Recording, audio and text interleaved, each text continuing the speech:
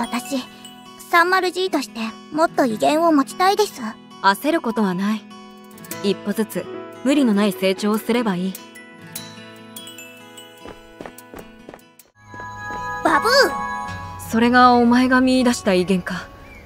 言葉はともかく堂々としている様は立派だぞ。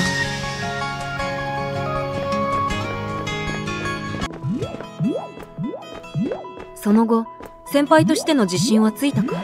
なぜかみんなが微笑ましく私を見てきます。